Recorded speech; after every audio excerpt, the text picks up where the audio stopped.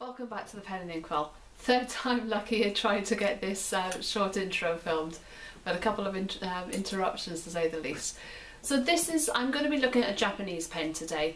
This is the Pilot Custom 74. This is a pen I've been looking at for a long time. I first noticed this in Brian Goulet's videos where he uses a blue one, one of his everyday carry pens, his go-to pens, and sort of lusted after it since then. I was very, very fortunate to be loaned one of these pens to have a try at by a colleague of mine, Ian Hedley, who writes a blog, Pens, Paper, Pencils, which is very worth you going over and having a look at. Um, this pen is expensive here in the UK, which is what stopped me from ordering one. So I am very lucky to have had the opportunity to try it and even though it's not a nib that I would use um, out of choice, it's not what I would have ordered, I am still extremely grateful for the opportunity and very fortunate to have been able to try one. So I'm going to give you my thoughts on it. So this is it. This is the actual clear demonstrator version of it. It comes in blue, it also comes in orange. I've seen it in a smoke colour as well. I think I've seen it in like a sort of lilac colour, violet lavender colour as well on Amazon. But say this is the clear demonstrator version of this pen. I'm going to have a look at it in closer detail, let you know what I think about it, and then I'll do a quick writing sample right at the end and um, say please leave some comments for me below and I'll speak to you very shortly. Bye. Welcome back. So I'm looking at the Pilot Custom 74. As I said, it's a pen I've lusted over for quite some time. I've wanted to look at and I was very grateful and am very grateful to Ian Hedley for giving me the opportunity to borrow it and have a look at it and test it out and see if it's everything that I hoped and thought it would be. So I'm going to get a little bit closer so we can have a look at this in detail. So this is the clear version of it. As I said in the introduction, it also comes in orange, it comes in a blue, and it comes in smoke. I've also seen it in a sort of lavender type colour. Not very easy to find over here, or not for sort of sale on general sale over here, but you can get them on Amazon, and I, you can order them from the US as well in those colours. But if you're ordering from the US over here, be aware of the customs charges that you'll pay to get them through. So this is, as I say, this is the clear demonstrator model. So you can see everything through this. So measurements wise, let's get that out of the way. It's, it's a fairly lightweight pen actually, before we go on to the measurements. This is 23 grams in weight with the cap on. It's 14 grams without the cap. Measurements, it's 142 millimeters long.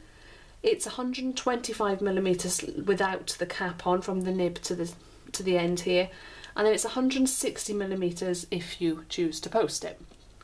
I very rarely post my pens except for pens that are designed to be clearly posted. So we'll have a look and see what we think. So you can see right the way through this, even the orange and the blue and the smoke and the lavender, they are still, um, you can still see, excuse the ink on my pens, it's been a busy pen, on my finger, sorry, not my pens, it's been a very busy pen day and, well, those of you that love fountain pens know that it comes with the territory.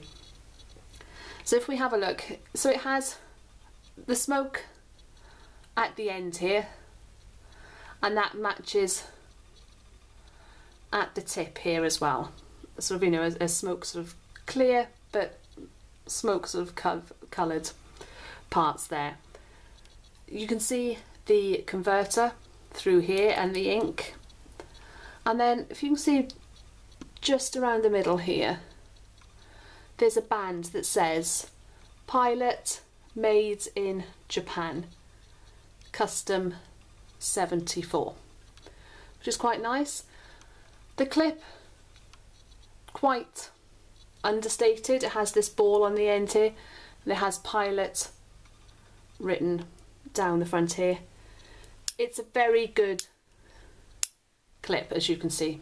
Very workable, very serviceable.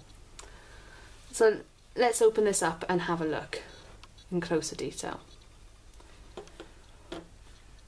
So as we have a look at it, the grip section has the same colour as the end, this sort of smoke colour to it. And let's have a look at that nib. It's a beautiful looking nib. I like a decorative nib. So this is a gold nib. This is a 14 carat gold nib and this is a broad. wouldn't be my choice generally, but this is what was loaned to me and you take whatever you can get. It has beautiful design around the edges here, right the way through. Has Pilot 14 carat written on there and it has broad written on there as well.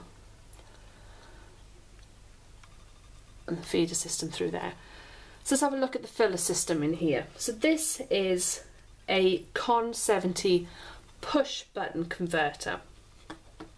Not going to operate it because I'm going to end up with ink everywhere. So this, you put simply you push the button, it feeds up the ink from the bottle through the pen here. It also, you can use the IC50 or the 100 cartridges from Pilot as well in this pen. So what have been my thoughts on it? Right, I suppose I have to start by saying this pen here retails in the UK for £184.99 pence. It is a gold nib and I'll do a writing sample shortly. Um, and I have to say, hands down, it is the smoothest nib I have ever used. It's also the wettest nib I have ever used. Now, that is either going to be a huge plus for you or it's going to be something that may be sort of a little bit of an annoyance. For me, it is the latter, I'm afraid. I'm not a huge fan of wet nibs. I tend to write a lot. I haven't got the time for the ink to dry. My handwriting is fairly small. I like the way my handwriting looks with a fine, you know, or an extra fine nib. So the nib for me doesn't work. That saying, it is available with a fine nib, so I could just get a fine nib. And I would be interested in trying a fine nib.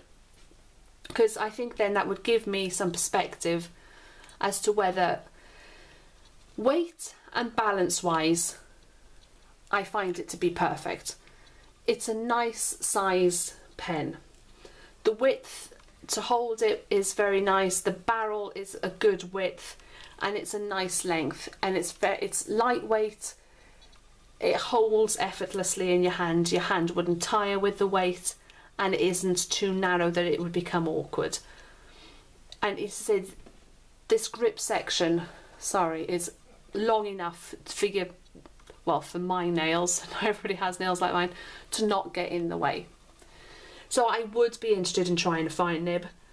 Would I be interested at the price point that it is no. I wouldn't pay the money that is being asked for this in the UK. You can get it in the US for far cheaper and you can get it from Japan directly from retailers on Amazon for cheaper and that I may be tempted to do. Um, whether I would choose to try and try a fine nib first to see whether I'd like one but I'm looking out for a blue one with a fine nib and if I come across one I may be sort of very tempted to pull the trigger and get one because it is a very well balanced pen and I like that about it. It's straightforward, it, I can see why it would become a workhorse pen that you would be very comfortable in writing with. So I am going to carry on, I'm going to do a writing sample now for you and then I'll show you how this writes with a broad nib because if you do like wet broad nibs, this is perfect. So come and see me in so a let's look at a writing sample then. So this is the Pilot Custom 74 and this has a broad nib.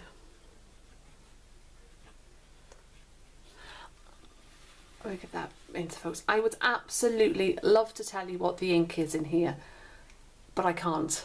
I'm really sorry, I don't know what it is. I know it's by Diamine, I'm not sure it was. The pen came to me already filled. Um, Ian, if you're watching this, if you want to drop me a line and let me know, and I can add it to the comments below um, into the description box so you'll know what this is. But say, but this is, um, I know it's a Diamine ink, I'm just not sure which one it is. So this is as I've said, this is a wet nib. See what I mean? Um, but it is also absolutely buttery smooth. And I would have to say the smoothest nib for me personally. Let me see if I can get in there closer and you can see quite how wet this ink still is. See, if you were writing with this pen, it would take some time for this ink to dry and you would have to leave it a little while. You wouldn't be able to be turning pages sort of very quickly. This is Rhodia paper. It is a standard paper that I use and I like using, but it, it is a very wet nib. As far as there's no line variation, I wouldn't expect it to have any line variation. This ink, whatever it is, does give some really nice shading actually, as you can see there. So it's a nice ink, so I'd be interested to know what it is actually. Um, as I say, there's nothing more I can sort of say. It's a broad nib, but let's remember it is a it's a Japanese broad nib, which I would say would equate probably more towards a western medium, probably slightly larger, broader than a western medium, but not as broad as a a Western broad nib, for example, or you know a German broad nib, possibly. Um, there is nothing sort of you know nothing more I want to really add on this pen. I like the pen design. I like its weight. I love the nib. I'd like to try it in a fine nib.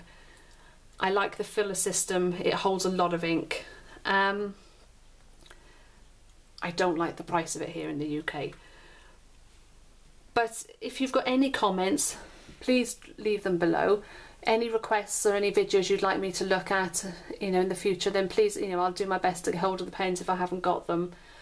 And um, other than that, please like the video, subscribe to my channel, and I'll see you all again soon. Bye bye.